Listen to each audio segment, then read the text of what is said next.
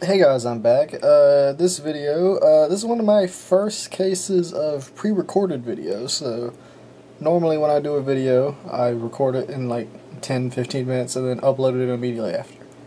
Uh, this video can't do that. I'm currently recording this on Super Bowl Sunday. It's February 3rd. Um, this video is going to be posted, uh, I think, probably February 14th or 15th, someday after Valentine's Day. Uh, and you'll see, uh, mainly because two of the figures in this video were made for a gift for uh, uh a friend's uh, significant other.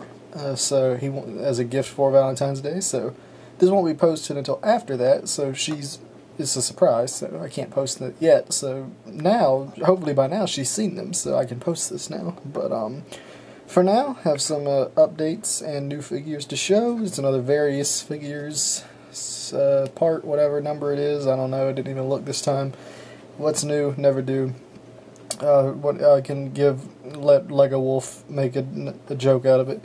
Um, so, three new figures, two updates. I'll start with the update. Uh, one, I don't think I ever showed this updated face. This is my Arthur Morgan. Uh, you've seen this a couple times now. I made this new face. Um, so ditched the chops and I made this like bearded head. Um, not sure if I showed this yet or not, but that's what he looks like. Oh, we go. So it's just a bearded head, and technically it's a new hat as well. Um, hat hair combo, you know, comes off with it. So.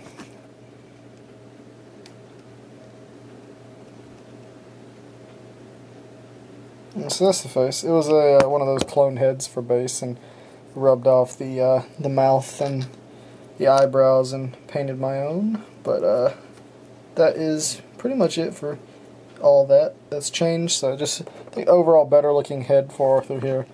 And uh, I still have him with the mutton chops in the game, but this looks nicer for a figure.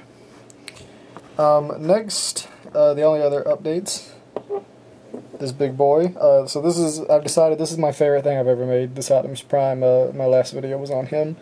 Uh, changes I've made. Uh, I've added some more detail to them. Uh, some clips of the movie came out, making it easier for reference. So there's some detail on the inside of the arm now. Um, most of the changes.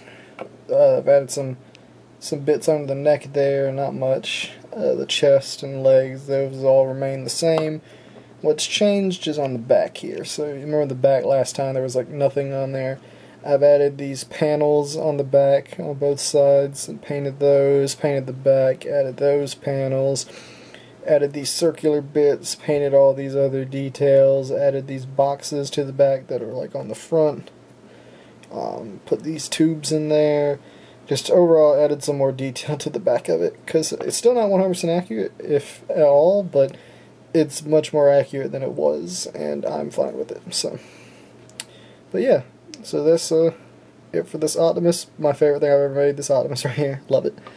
Um, Optimus Prime is probably my favorite fictional character of all time, so no surprise that I like that so much. Uh, so now for the new figures. Uh, here's John Wick. So, you know, John Wick 3 trailer came out. Also, rewatched the first John Wick with my dad, uh, which got me in a mood. So I made this really quick John Wick figure. Head is um same base head as the Arthur Morgan head. It's one of the angry clone heads with everything erased but the eyes and the cheekbones. Painted on the facial hair, painted on some mouth wrinkles. Uh, painted on the scars. Uh, this is all 100% painted. Painted the vest, the dark blue shirt with the tie. The dark blue is on the wrist as well. Uh, I don't think there's anything on the back. No, just black. Got a brick arms gun, and uh, that is pretty much it for John Wick. So, pretty simple. I think it looks pretty good for a quick figure I made, like maybe an hour. So, and then uh, so here's the two. These two are a pair. So here's the two figures that um, the surprise figures that hopefully she's seen by now. So I won't be posting this until I have confirmation she's seen them, but. Um, they're from Over the Garden Wall. I think this is, uh, fair warning, I know nothing about this show. I just know the name and the characters' names. Got no clue anything else about this show except for I've seen the Highwayman bit. Um, so I think this is Wirt and this is Greg. Um, so Uh, these are the two little duders from Over the Garden Wall. It's an animated thing. Um, so Wirt here modded Mutt Williams' hair to get the little point in the middle.